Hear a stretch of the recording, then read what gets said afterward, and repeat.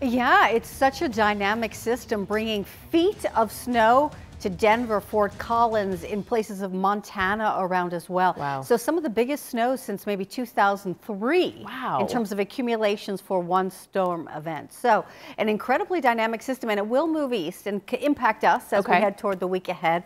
So we actually do have the chance for some strong storms too on Wednesday. But 57 right now in Atlanta, 55 in Marietta, also in Athens, Rome 54.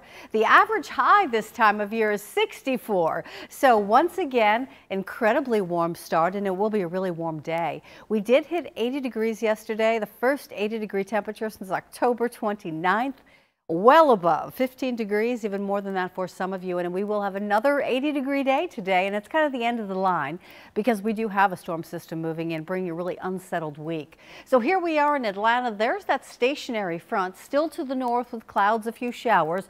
But this is the big impactful event. Here's the area of low pressure just kind of pummeling Denver. But also you can see some very stormy conditions in Omaha. Threat for severe weather once again today in the plains, including Texas and Oklahoma. Again, that threat stays well west of us today, but it is a piece of that storm ejects into the east, into the southeast, and will be impactful for us this week. Here's the forecast for today. Again, a day very similar to yesterday, kind of a high overcast with some filtered sunshine.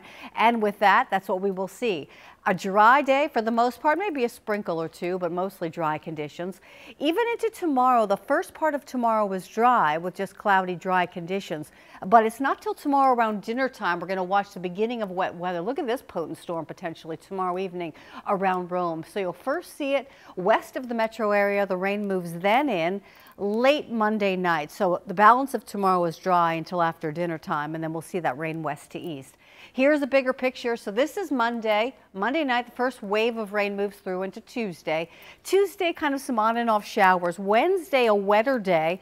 Wednesday, we do have the chance for some showers and thunderstorms, and then into Thursday and then the whole system exits east by Thursday afternoon. So it's really late Monday night, Rain on Tuesday, some strong storms potentially Wednesday. Rain moves out Thursday morning and we're dry Thursday afternoon. So that's the time period for the weather.